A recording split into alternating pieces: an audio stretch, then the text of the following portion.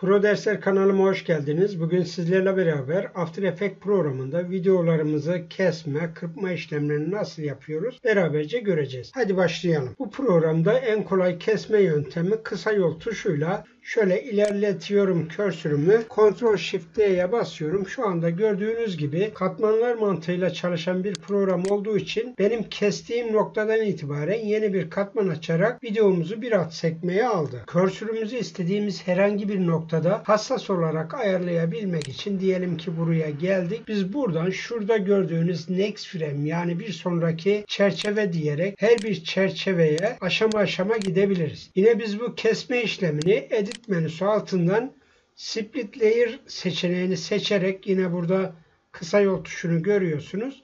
Ona tıkladıktan sonra burayı kesebiliriz. Onu da yine ayrı bir katmana aldı. Yine bir başka kırpma yöntemi tam bu başlangıç noktasına geldiğim zaman her iki yana ok işareti oluşuyor. Faremin sol tuşuyla basılı tutarak şöyle ilerlettiğim zaman benim videomun başlangıç noktası bu bölümün başlangıç noktası buradan itibaren olacak. Şöyle ilerlediğim zaman gördüğünüz gibi bu arayı boş bıraktı. Yine bu şekilde de daha sonra istediğimiz gibi de uzatabiliriz. Tabi burada kestiğimiz zaman geri dönüşü de mümkün. Yine bir başka yöntem şurada gördüğünüz gördüğünüz çalışma alanı var burada. Biz bunu faremizin sol tuşuyla yine şöyle getirdiğimiz zaman buradan sondan da getirdiğimiz zaman bunun şöyle bir kolaylığı var. Diyelim ki bizim projemizin tamamı burası. Ama biz sadece bu kısımdan render almak istiyoruz. Bu şekilde çalışma alanını belirleyerek sadece bu kısmın renderını alabiliyoruz arkadaşlar. Yine buranın üzerinde iken trim comp to work area yani diyor ki bu kompozisyonda bu alanı geçerli değerli kıl şu anda benim orada ayarlamış olduğum bölümü bütün projeme uyguladı. Yaptığımız işlemleri geri almak istediğimizde de Ctrl Z